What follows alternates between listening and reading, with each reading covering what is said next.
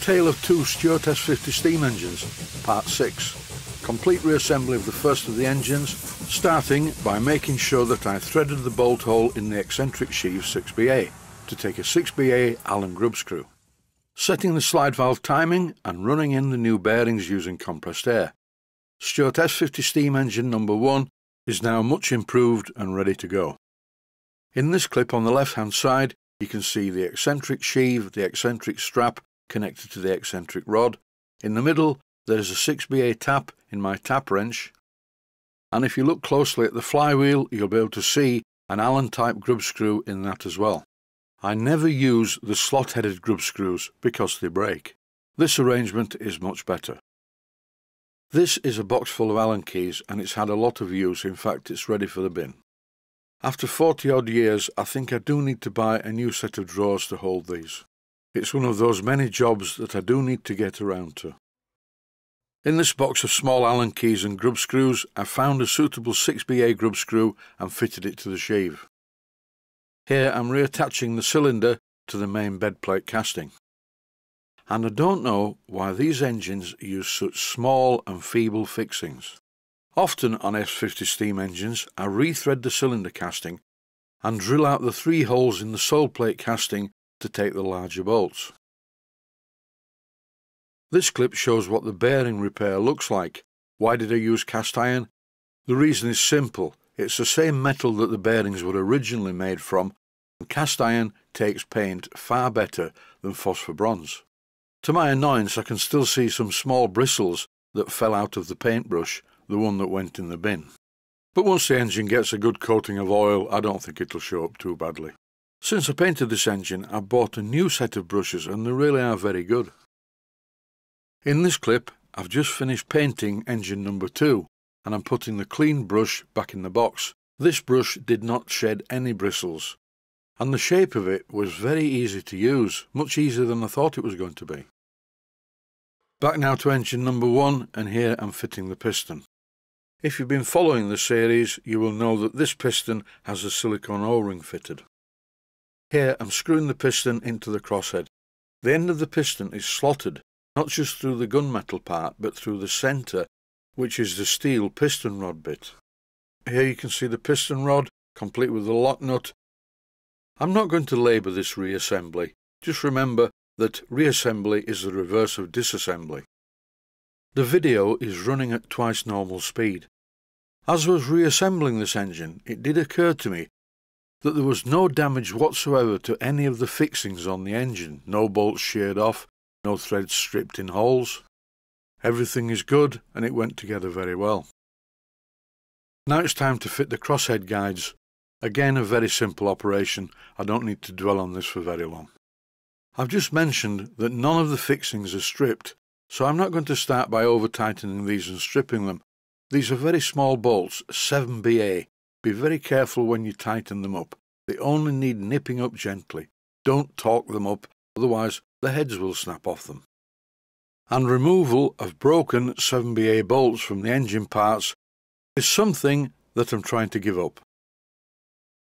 Now it's obsession time. I'm setting the valve timing.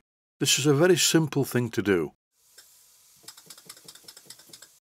All I'm trying to achieve is admission of the compressed air just before the piston reaches top dead centre, at both ends of the stroke, and this is more difficult than it first sounds. Rotating the eccentric sheave on the crankshaft advances and retards the valve timing. While I'm oiling up the engine, ready for a prolonged run, I will explain. By moving the eccentric sheave first one way and then the other, then tightening the grub screw to hold it in place, and rotating the engine with a little bit of compressed air being fed into the steam chest, if you cannot get the admission exactly the same at both ends of the stroke, you will need to move the position of the slide valve. The oil can is pointing at the part that you need to just undo temporarily. Once the bolt's been removed, lift the eccentric rod out of the valve fork and rotate the valve fork one turn. And if when you put it all back together the valve timing is worse, you've turned it the wrong way. I'm sure you can understand what I mean. Here's the first test run. My workbench is intentionally a soundboard to amplify any mechanical noise. When I lift the engine off the workbench you can hear what it really sounds like. Running the video in slow motion is useful because you can hear the evenness of the exhaust beats. And now it's painting time. I'm not using my new paint brushes because when I painted this engine the brushes hadn't arrived. This paint is Gloss Black by Phoenix Precision Paints and it's really good paint. I do like to brush paint steam engines because when I look at full size ones they're normally brush painted also. And it's for that reason that I don't like to over fettle castings. If you're going to try and get a mirror finish on your castings, you may as well use bar stock and machine it from the solid. After carefully painting the base using this black paint, I applied the same to the flywheel. I rubbed it down with some Scotch-Brite, just as a key for the paint. And here, just for the viewer who said, what happened to the unpainting brush? Well, here it is in action. When you switch the brush into unpainting mode, you really have to be very careful not to unpaint the entire flywheel. The next day I went back into the workshop, fitted the flywheel to the engine and the engine to the base and here it is running. And that is it, I can add nothing more. I'd just like to say as I always do, stay safe, stay healthy, thanks for watching and I hope you found it useful.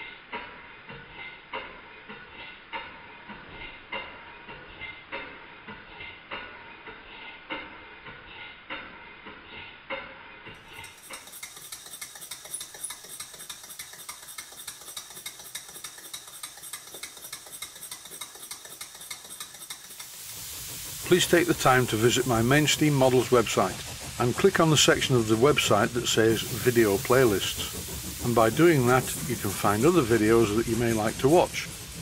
And by using the playlists, you can actually watch the videos back to back.